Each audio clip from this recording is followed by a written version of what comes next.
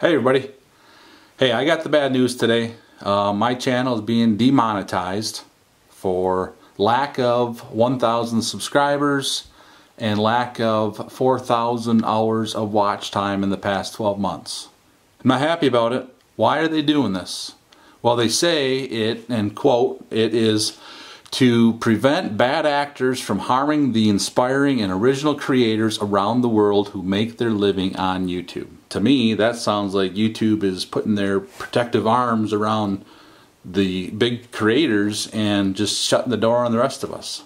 Well, not everybody makes their living on YouTube, but still have expenses in the cost of making their videos and my you know few hundred dollars that I make on ad revenue isn't a whole lot but it helps. It helps offset the cost of the camera that I bought the computer that I upgraded to the software that I purchased mostly all to make videos. Myself I have never had a community strike against me. I don't spam. I don't uh, have misleading thumbnails or misleading titles. I don't do sub for sub or any nonsense like that I don't know what to do now. You know, what, where do I go from here? Do I just give up, throw in the towel and say, screw it, I'm done? Or do I put my head down, drive forward, keep plugging away, making videos, and someday, you know, hopefully reach that plateau that they're looking for?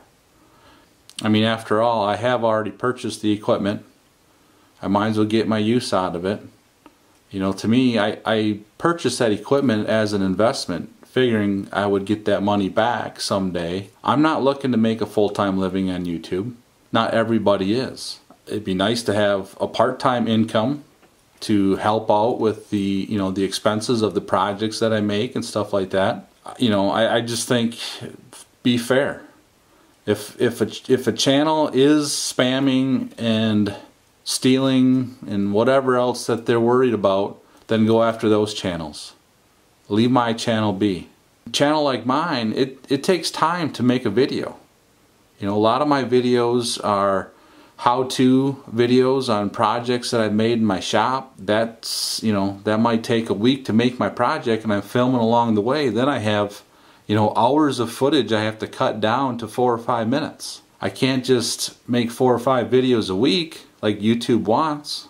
You know, other videos that I make are seasonal. You know, they're about homesteading and, you know, the garden and chickens and, you know, it's middle of winter right now. I can't make videos on that.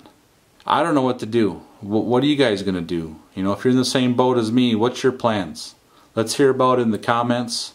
Um, let's keep the conversation going. See what we can do to, to help each other out. Although sub for sub is not going to work, guys. I, it's that's the first thing I started seeing today is sub for sub. Let's get over the thousand subscriber mark. Well, it's more than just that. You got to have the watch time. You got to have the viewer engagement. So I ask if you would go look at my channel, see if you like my videos, and subscribe if you do. I will try and do some more of that myself in the upcoming weeks here. I'm going to try and find small channels that I enjoy and I'm going to subscribe to them and I'm going to watch their videos. Anyway, thanks for listening to me rant and uh, thanks for watching the video. And please go check out my channel, look at my videos, watch a couple. If you like them, subscribe to me. That's all I ask. Thanks again.